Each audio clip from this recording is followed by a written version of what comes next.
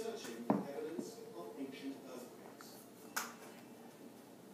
The shaking would have set off an underwater landslide, leaving layers of mud as evidence.